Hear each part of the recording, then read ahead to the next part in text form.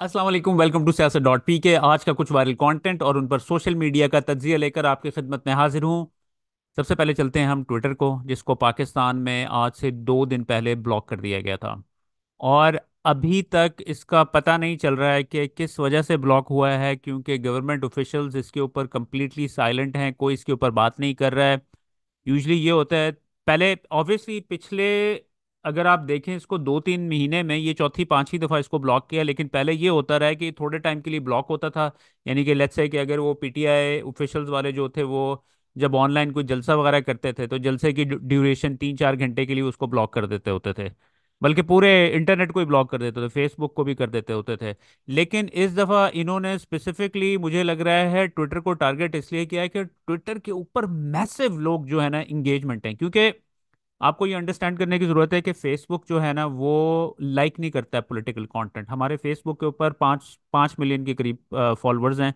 लेकिन हमें वहाँ पर इतनी रिस्ट्रिक्शंस हैं, कुछ हम कोई ख़बर लगा दें जो उनको पसंद ना आए, हमारे ऊपर वो यू नो बैन लगा देते हैं, कभी शेडो बैन कर देते हैं। बस इस तरह की सूरत हाल पिछले तीन चार साल से हमारे साथ ट्विटर फेसबुक के ऊपर चल रही है। तो फेसबुक को ना हमने तवज्जो देना भी बंद कर दिया है उसके ऊपर ना। अब हमारा, हम लोगों का भी जो मेन प्लेटफॉर्म है ना, जिससे हम लोगों को टारगेट करते हैं, लोगों को तक पैगाम रसानी करते हैं, वो हमारा भी ऑफिशियल जो प्लेटफॉर्म है वो ट्विटर ही है। अब मैं आपको बताऊँ मैंने कहा मैं देखूँ तो सही क्या सूरत हाल थी पिछले एक हफ़्ते में। ये देखें जी पिछले सात दिन के स्टैट्स हैं हमारे पास इस ये Siasat dot P K. Forty nine million लोगों ने हमें इम्प्रेशंस गए हैं इस वक्त। और दिस इज़ मैसिव यूजली ये होता था कि हमारे जो था ना एक वक्त में इम्प्रेशंस होते थे आ, पूरे महीने के इम्प्रेशन की मैं बात कर रहा हूँ। वो हमारे होते थे तकरीबन थर्टी टू फिफ्टी मिलियन के करीब होते थे। लेकिन अब पिछले तीन चार महीनों में इतनी मैसिव ग्रोथ है क्योंकि मेजोरिटी लोग जो, जिनको पॉलिटिकल कंटेंट में इंटरेस्ट है ना, वो मूव कर गए इधर फेस फेसबुक को छोड़ के इधर ट्विटर के ऊपर आ गए। तो अब वो thirty mil thirty million thirty two fifty million से आगे बढ़कर टू हंड्रेड मिलियन अब मंथ के ऊपर चले गए तो ये सूरत हाल है इधर। और ये जो हमारी गवर्नमेंट है केयर टेकर गवर्नमेंट है ये सिर्फ़ हमारे इलेक्शन करवाने आई थी तीन महीने के लिए। अब आप देखें, ये जो हमारे ऊपर जो फैसिस्ट लोग जो मुसलत हैं, ये उनका हथकंडा बन के काम कर रही है इस वक्त। अच्छा जी, अगली खबर की तरफ़ चलते हैं। ये महमूद अचकजई साहब की जो आज एक तकरीर थी, जिसमें वो डायरेक्ट वर्दी वालों के ऊपर इल्ज़ाम लगा रहे हैं कि भाई तुम लोगों ने लोगों का मैंडेट चोरी किया है। ये क्लिप देखिए। जो गालियाँ आप को देंगे, मैं नहीं मानूँगा। लेकिन आप जो ये वर्दी के नारा लगाते हैं ये हमें बुरा लगता है और बुरा लगना भी चाहिए। चीफ साहब, आर्मी की वर्दी में डाका पड़ा है हमारे वोट पे। आर्मी की वर्दी पे major colonel, lieutenant colonel, brigadier general. आपको वर्दी की लाज रखनी है, बिल्कुल अख्तर जान ने कहा। इनसे वर्दी निकलवा दो। बिल्कुल they must be, they must be set out from the army बिल्कुल निकाल देना चाहिए आर्मी से। और इनके इलेक्शन मिलिट्री कोर्ट या सुप्रीम कोर्ट में इनके पास केसेस जानी चाहिए। हाँ कैसे? सत्तर अरब रुपए। ये मालूम सियासी लोगों की है। सत्तर अरब रुपए बलोचिस्तान से लोगों से लिए गए हैं। सत्तर अरब रुपए। ये चोर ये डाकू ये वतन फिरोश ये स्मगलर इनसे आप जब सत्तर अरब रुपए लेंगे, ये पार्लिमानी में, पार्लिमानों में जाकर ये सत्तर अरब रुपए पाकिस्तान की पेट से निकालेंगे। तो तुम गद्दार थे हो या हम गद्दार हैं? तुम बेचते हो पाकिस्तान लोगों पे। हमारा हमारा मैंडेट इतना आसान नहीं है, हमें मत छेड़ो। हमें मत छेड़ो। हमें अपनी आवाम वोट देगी ये अख्तरजा की जिम्मेवारी होगी। ये मालिक की पार्टी की जिम्मेवारी होगी। या फिर किसी ने एहसान नहीं करना, हम पार्लियामेंट में सही कहा अख्तर जान ने। हम पार्लियामेंट में उन साथियों को, उन पार्टियों को सपोर्ट करेंगे, जो पहला रेजोल्यूशन ये लाएँगे कि पाकिस्तान की सियासत में अफवाज पाकिस्तान का रोल नहीं होगा। ये पहला रेजोल्यूशन होना चाहिए पार्लियामेंट का। अगर कोई पाकिस्तान को चलाना चाहता है। अच्छा जी अब आज ये वाला जो क्लिप है वैसे हर जगह के ऊपर ये वायरल था। बहुत सारे लोग जो ट्विटर के ऊपर हैं पाकिस्तान में वो शायद ना इसको देख सके हों। लेकिन ये है कि ये आज बैलेट पेपर छापते वक्त। अब आप अंदाज़ा करें इलेक्शन हुए हुए कितने दिन हो गए हैं? फरवरी एट को इलेक्शन हुए थे। आ, आज भी जो है ना इलेक्शन क्योंकि इलेक्शन के रिजल्ट्स तो नहीं आए आज भी इलेक्शन को मैनिपुलेट करने के लिए इलेक्शन पेपर छापे जा रहे थे ठीक है ना? जिन लोगों के पचास पचास हज़ार की लीड थी उनको सत्तर हज़ार देना था और बीस हज़ार से हरवाना था तो फिर इन्हीं इसी तादाद के अंदर जो है ना आपके बैलेट पेपर रुकिए रुकिए रुक जाओ लेकिन ये क्या छाप रहे हो? क्या नाम क्या आपका? कमाल नाम हो क्या गया भाई? दस भाई दस। दिखाएँ जी ये दिखाएँ कैमरा इस तरफ़ कैमरा ऊपर करें मेरी एन ए वन फाइव मान सेहरा अच्छा जी। ये जी बैलेट पेपर है N A one five month सेहरा के। कौन कौन सी छप चुके हैं बेटे? मुफ्ती किफायतुल्ला साहब मोहम्मद हारून साहब का बाकी कहाँ छपे? कटो भी कटो था ये पकड़े जी। ये पकड़े। कॉल तो करो? One five call one five के बैलेट पेपर जो छप रहे हैं वो अभी इलेक्शन हो चुका हुआ है। और उसके साथ साथ इलेक्शन के बाद जनाब कितना बैलेट पेपर जनाब तमाम इलेक्शन जनाब बैलेट पेपर फाड़ लेने हाँ जी जनाब। अब देखो। तो खान जहाँ से नवाज़ शरीफ साहब हार चुके और ये नवाज़ शरीफ साहब एन वन फाइव। जमहूरियत का ये आलम है। तो ये वाला इस इस खबर की वजह से इतना मैसिव जो है ना पैनिक के अंदर थे नून लीग वाले। अजीब गरीब उन्होंने आज प्रेस कॉन्फ्रेंसिस की हैं। और उसके बाद इवन के उन्होंने पता क्या कि अभी देखिए उनकी ऑफिशियल आईडी है। पीएमएलएन की। इन्होंने सियासत डॉट पी के बना के ना एक डमी आईडी ये देखें जी, ये डमी आईडी है और इस आईडी का हैंडल है Siasat dash P K dot com ठीक है, इसके यहाँ से इन्होंने खबर बनाई, ये कहते हैं ये खबर बनी है जी दिसंबर थर्टी टू थाउज़ेंड फोर्टीन की। N A one twenty two Imran Khan का धांधली से मौकफ दुरुस्त साबित होने लगा। उर्दू बाज़ार के छापे गए बैलेट पेपर्स भी बरामद। ठीक है जी। ये इन्होंने हमें हमारी खबर बना के जो है ना इन्होंने लगाया। और फिर ऑब्वियसली लोगों ने इनकी फिर चित्रौल की। इन्होंने कहा कि भाई ये इस इस अकाउंट के सिर्फ़ एक हज़ार फॉलोअर्स हैं। सियासत डॉट पी के जो ऑफिशियल आईडी है उसके two point six million followers हैं। तो डेस्परेशन के अंदर फिर इसी तरह इसी, इसी तरह इसी तरह की चीज़ें होती हैं। यानी कि अब आप अंदाज़ा करें कि एक ऑफिशियल अकाउंट है किसी पार्टी का। इतनी बड़ी पार्टी अपने आप को ये क्लेम करते हैं। लेकिन ये इतना भी स्क्रूटनाइज नहीं कर सकते हैं कि कौन सी आर कौन सी आईडी ऑफिशियल है, कौन सी आईडी ऑफिशियल नहीं है। अब एक आईडी है, अगर आप सियासत डॉट पी के ट्विटर के ऊपर हैंड्स डाउन जो है ना, सबसे बड़ा ऑफिशियल मीडिया प्लेटफॉर्म है। और और उसके, आपको पता है, लाखों में फॉलोअर्स हैं। और इसके एक हज़ार फॉलोअर के ऊपर इन्होंने इसके ऊपर खबर बनवाई और बनवा के जो है ना, ये हमें भी जो है ना डिग्रेड करने की कोशिश की, लेकिन फिर लोगों ने जो है ना नीचे आप देख सकते हैं इनको फिर सही इनकी तसली की है। अच्छा जी, अब ये वाला बच्चा आपको याद होगा, ये इन्होंने एक बड़ी ज़बरदस्त धुएंधार तकरीर की थी और बड़े लेजिट किस्म के क्वेश्चन पूछे थे इन्होंने, ठीक है? हमारी इस्टेब्लिशमेंट से। लेकिन फिर हुआ ये कि आज से करीब तीन चार दिन पहले के करीब इन, इस बच्चे को घर से उठा के ले गए नामालूम अफराद। और आज इनकी जो है ना ये ज़बरदस्ती इनसे ऑब्वियसली फुटेज बना के ये रिलीज़ करवाई गई है। तो अब मुझे नहीं समझ आती है कि ये इस तरह की जब ये हरकतें करते हैं ये इनसे इसको, किसको फ़ायदा पहुँचता है, मुझे बताएँ? यानी कि आप अब इस्टेब्लिशमेंट को ये इस तरह की हरकतें करके आप नफ़रत लोगों के दिलों में और बढ़ा रहे हैं। बहरहाल ये आप क्लिप देख लीजिएगा। बिस्मिल्लाहिर्रहमानिर्रहीम। जी, मेरा नाम कलीम आरफ और मैं मांगड़ तो बिलोंग करना।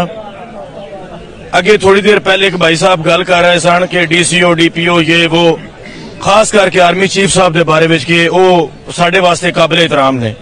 मैं ये दसना चाहना कि आर्मी चीफ साढ़े वास्ते बिल्कुल भी काबिल एहतराम नहीं। बिस्मिल्लाहिर्रहमानिर्रहीम। मेरा नाम कलीम आरिफ है और मैं मंडी बावलदीन के गाँव मांगड़ से बिलोंग करता हूँ। कुछ दिन पहले नौ फरवरी को डिस्ट्रिक्ट कम्प्लेक्स के पास कुछ लोगों ने मुझे इश्तियाल दिया कि मैं आर्मी के ख़िलाफ़ बोलूँ।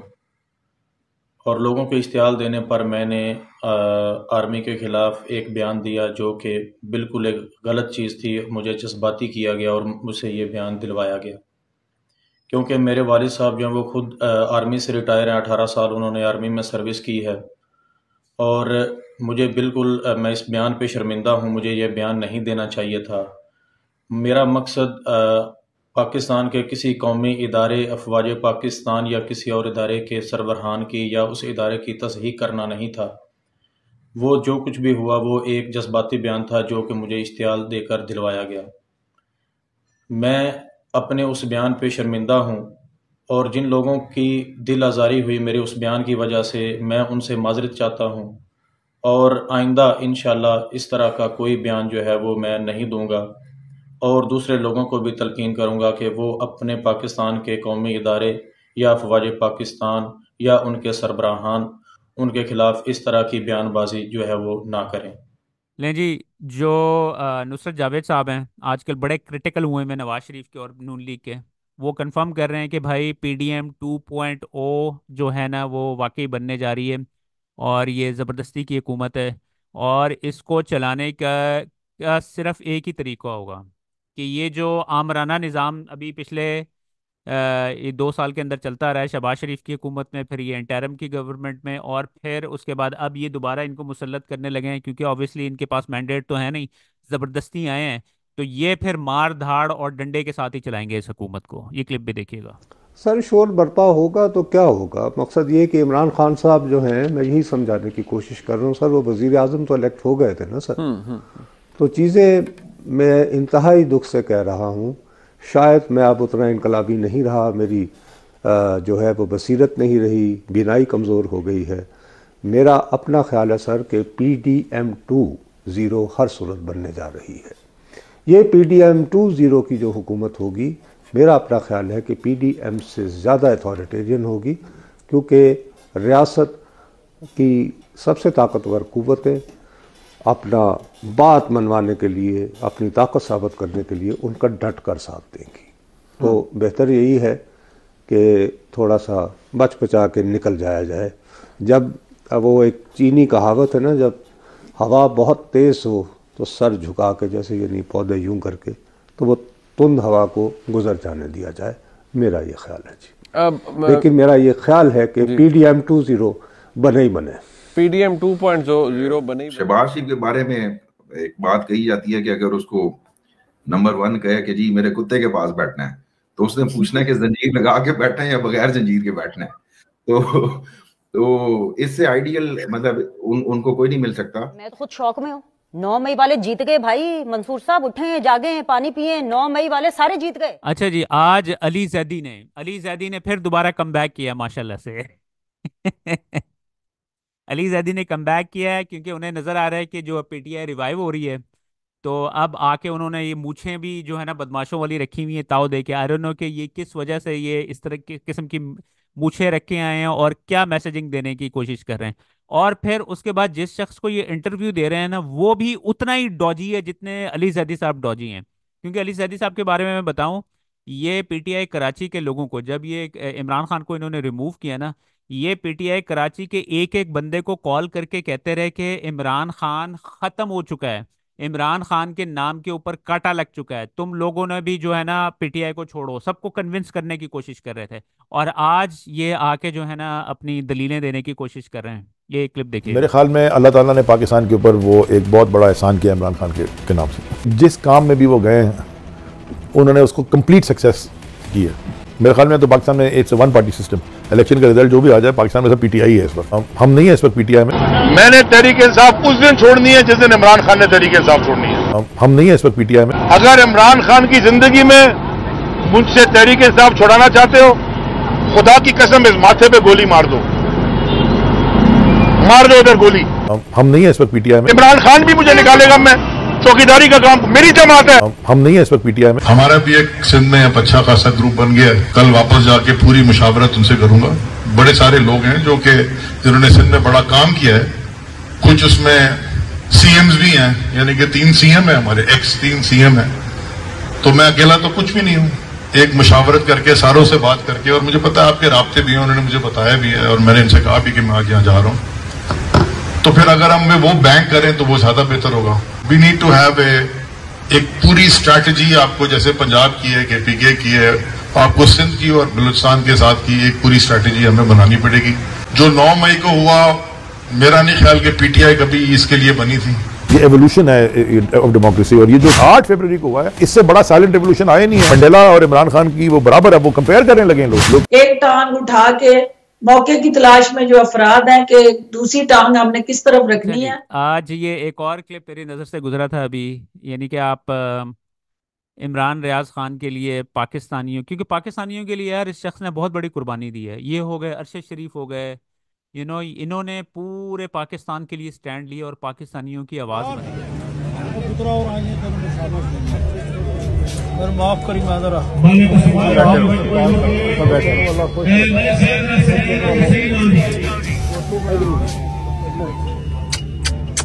तो तो इमरान रियाज इमरान रियाज अपना। ना जी ना वोट का नाम मिलना गुना है। वोट मिलना है। ਗੁਨਾਹ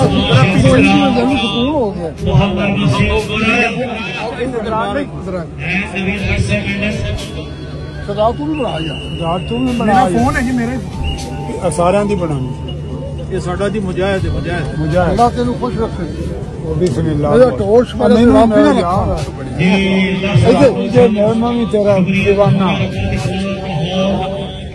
ਸਲਾਮਤ ਤੈਨੂੰ ਰਾਮ ਵੀ ਨਾ ਰੱਖਾ For 142 days, Imran Riaz was kept in solitary confinement without access to a lawyer. In that time, he lost a third of his body weight and is still recovering. Assalamu alaikum. I'm Mubin. Very nice to meet you. 11 मई से लेकर 25 सितंबर तक मैं इस दुनिया में ही नहीं था मेरी डेथ अनाउंस हो चुकी है चार दफ़ा इस बीच में मुझे ये भी पता चला कि शायद मेरा नमाज़ जनाजा भी पढ़ दिया गया है। मुझे इस दुनिया से मुतक कोई सही खबर नहीं पता थी इन 142 डेज़ में। In in that period of 142 days did you truly believe you'd be free again sometime this kind of life is more difficult death और ये आसान नहीं था मेरे लिए भी नहीं मेरी फैमिली के लिए भी नहीं। दे आर स्टिल सफरिंग मैं बोल नहीं पा रहा था। वो जब मुझे सुनते थे या देखते थे तो वो खुद एक ट्रॉमा में रहते थे। अल्हम्दुलिल्लाह I have recovered now almost 95 percent I okay with my speaking ability but अच्छा ये क्लिप अ, साबिर शाकिर साहब ने शेयर किया है। कहते हैं ये कहाँ की फुटेज है? फुटेज का अभी अभी तक हमें भी नहीं पता चला कि ये कहाँ की फुटेज है। लेकिन सिचुएशन ये है कि यहाँ पर भी देखें, नामालूम अफराद किस तरीके से अंदर दाखिल होते हैं और वोटों के डब्बों को उठा के बाहर फेंक रहे होते हैं और वहाँ पर जो अमला बैठा हुआ है ना, उनको भी उठा के ज़बरदस्त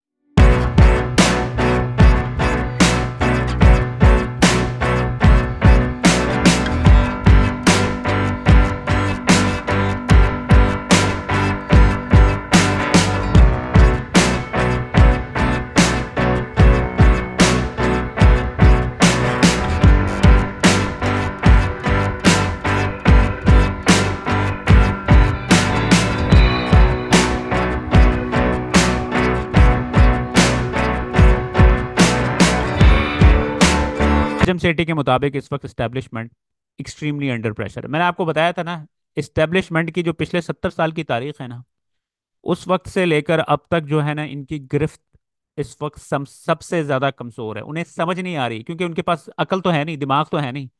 वो समझ रहे थे कि शायद डंडा चलाएँगे, हम धौंस धमकी देंगे तो चीज़ें फिक्स हो जाएँगी जिस तरह वो पहले करते आए हैं। लेकिन इस दफ़ा आपको पता है कि तब्दीली वाकई आई हुई है। लोगों में अवेयरनेस का लेवल इतना ज़्यादा हाई है कि आप लोगों को इस तरीके से लोगों को उल्लू नहीं बना सकते हैं। इस वक्त जो सबसे ज़्यादा प्रेशर है वो नून लीग के ऊपर नहीं है ना पीटीआई के ऊपर है ना पीपल्स पार्टी के ऊपर है। प्रेशर तो एस्टैब्लिशमेंट पे है। बिकॉज़ ये तो एस्टैब्लिशमेंट का अरेंजमेंट चल रहा है ना। उनके स्टेक्स हैं ज़्यादा सबसे ज़्यादा उनके स्टेक्स हैं और यहाँ सिर्फ़ एस्टैब्लिशमेंट एज एन इंस्टीट्यूशन के स्टेक्स नहीं है। कुछ लोगों के अपने जाती स्टेक्स भी हैं। तो अब इससे ज़्यादा बात करना मुनासिब नहीं है। ले जी नून लीग के जो ऑफिशियल जर्नलिस्ट हैं वो कहते हैं कि फॉर्म 45 खुल गए। तो नवाज़ शरीफ अपनी सीट जो जीती हुई है ना, जिनको मिसाल के वो इतने बड़े मार्जिन के साथ हार रहे थे और सुबह जितवा दिया गया था तो वो कहते हैं ये वाली सीट हार जाएँगे वो। ये भी क्लिप देखिए गवर्नमेंट वही फार्म करेगा। और इस दौरान अगर उन्होंने मुल्क चला लिया तो ठीक, ना चला सके तो फिर उसके बाद नए इलेक्शन आ जाएँगे। यहाँ एक और चीज़ जिसका मैं ज़िक्र करता जाऊँ कि मियाँ नवाशी साहब ज़ाहिर है दो हलकों से उन्होंने इलेक्शन लड़ा था, एक मानसेरा से और दूसरा लाहौर से। मानसेरा से वो हार गए और लाहौर से वो जीत गए। लेकिन अगर किसी वक्त फॉर्म 45 इस हल्के के खुल गए तो मियाँ नवाज़ साहब यहाँ से भी हार जाएँगे, क्योंकि उसकी वजह यह है कि यहाँ कुछ ना कुछ गड़बड़ है जिसका शिकार मियाँ नवाज़ साहब किसी वक्त भी बन सकते हैं। और शायद यही गड़बड़ है जिसकी वजह से वो कंप्रोमाइज पोजिशन में है। सेम इसी तरह ओन चौधरी साहब जो हैं अगर उनके भी हल्के के सारे डॉक्यूमेंट्स खुल गए, अगर फॉर्म 45 उनके भी खुल गए तो मेरा नहीं ख्याल कि ओन चौधरी साहब भी अपनी सीट बचा सकेंगे। तो ये शायद हर बंदा ये कह रहा है कि भाई ये इलेक्शन के बाद जिस तरीके से खुलेआम रिगिंग की जा रही है, ये इस इलेक्शन के बाद अगर आप इस तरीके से हुकूमत बनाने की कोशिश करेंगे तो वो कभी भी नहीं चल सकेगी। ये एक शा, शाहिद खाकान अब्बासी साहब का भी क्लिप जो है ना सर्कुलेट कर रहा था आज ये देखिए अपने आप को साइड लाइन किया था थोड़े अरसे पहले। मैंने नहीं मैंने सियासत नहीं छोड़ी मैं सियासत को नहीं, नहीं, एक ज़िम्मेदारी समझता हूँ। मैंने इलेक्शन छोड़ दिया। इलेक्शन छोड़ा। क्योंकि मुझे छत्तीस साल इस काम में हो गए मुझे नज़र आता था कि आप कहाँ पर जाएँगे। और आज आप वहाँ पर पहुँच गए। तो अब क्या हो कि आज दस दिन हो गए इलेक्शन को आप हुकूमत ही नहीं बना सकते। इलेक्शन को कबूल अवाम नहीं कर रहे। इदारे नहीं कर रही। आज आज जो ब्यूरोक्रेसी है वोट के कह रही है कि हमने एग्जैक्ट इलेक्शन को रिक किया। तो आप कहाँ पर जाएँगे? जो कौम अपने इलेक्शन भी ना करवा सके इलेक्शन चोरी कर ले, वो कैसे आगे चलेगी? ये सिर्फ़ ये इलेक्शन नहीं है अठारह में भी यही हुआ। उससे पहले हर इलेक्शन में होता रहा। तो हम इन इन खराबियों को भुगत रहे हैं। लेकिन सर लेवल होता है। एक पानी का इतना लेवल एक इतना एक इतना। एक बेमानी का भी इतना लेवल इतना लेवल इतना लेवल पब्लिक मैंडेट जिस तरह आज डिबेटेबल हो गया है, आपने देखा कमिश्नर साहब ने आके जो कुछ कहा, मैं कह रही हूँ, क्या ब्यूरोक्रेसी में एक नई सोच आ रही है, या आप समझते हैं ये सिर्फ़ कॉस्मेटिक है?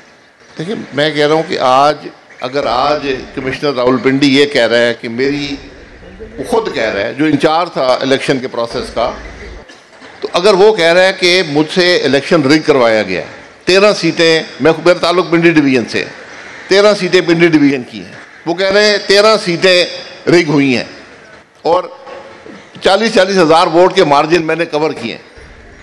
तो आप इसका क्या जवाब देंगे? कौन इसका जवाब देगा? तो आज ये जुडिशरी की ज़िम्मेदारी है, ये चीफ जस्टिस साहब की ज़िम्मेदारी है, जो सो मोटो पावर्स रखते हैं। Suo motu powers marriage hall ठीक करने के लिए नहीं होते। सो मोटो पावर्स जो हैं, ये अफसरों को दबाने के लिए नहीं होते। ये इस मौके के लिए होते हैं।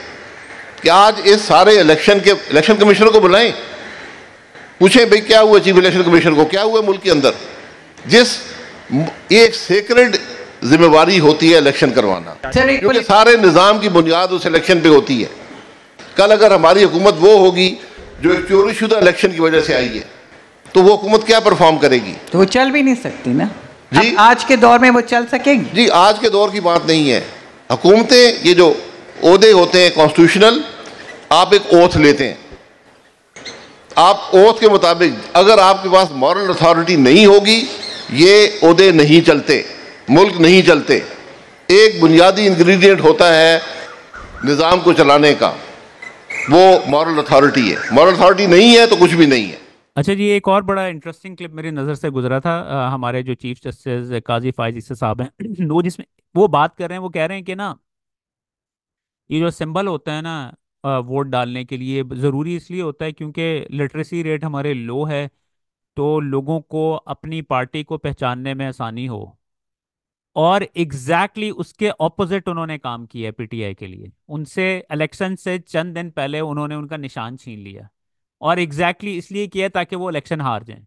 लेकिन फिर एक प्लान इंसान बनाता है और एक अल्लाह ताला बनाता है। Tehreek Insaf has a bad so people generally with literacy level they want the party symbol with a name they, they don't want because they want the party symbol. तो ये आप देखें वो क्या क्या रहा है? काजी फैसला साहब ने कहा काजी फैसला साहब ने कहा है कि जी ये तो बेबुनियाद इल्ज़ाम है ना इसमें सच्चाई है ना हकीकत है। मैं हैरान हूँ काजी फैसला साहब को कोई तहकीकात किए बगैर ये कैसे पता चल गया कि इसमें कोई सच्चाई नहीं है? भाई एक शख्स अगर कह रहा है कि मुझे अहकाम दिए गए? या मेरे जो डिप्टी कमिश्नर थे, वो मानना नहीं चाहते थे इल्ज़ाम को? सॉरी इन अहकाम को मानना नहीं चाहते थे, लेकिन बादल ने खासा मानना पड़ा। तो आप कम अज कम चीफ जस्टिस साहब जिन्होंने इतना टीवी इतना यूट्यूब पर आकर जल्दी की और आकर यह बयान दिया तो चीफ जस्टिस साहब को चाहिए था कि पहले इनको बुलाकर तहकीकात तो कर लेते। मौकफ सुने बगैर तो अदालत कभी फैसला ही नहीं देती। चीफ जस्टिस साहब कैसे किसी का मौकफ सुने बगैर फैसला दे सकते हैं? वो बुलाते कमिश्नर को, चीफ इलेक्शन कमिश्नर को, मामले की खोज लगाते और फिर बताते और फिर कहते कि जनाब हमने तहकीकात की है जो कमिश्नर रावलपिंडी है, इनका नुकता नज़र और इनके इल्ज़ाम गलत हैं। लेकिन ये सब किए बगैर ही चीफ जस्टिस कह रहे हैं कि इसमें कोई सच्चाई नहीं है इन इल्ज़ाम में और इसमें कोई हकीकत नहीं है। यानी चीफ जस्टिस काजी फायसा साहब कह रहे हैं कि इलेक्शन बिल्कुल ठीक हुए हैं। अगर इलेक्शन बिल्कुल ठीक हुए हैं तो फिर इल्ज़ाम लगाने वाले को सजा दें, चीफ जस्टिस साहब बुलाकर। कोई कैसे इतना बड़ा कोहराम इस वक्त मुल्क में बता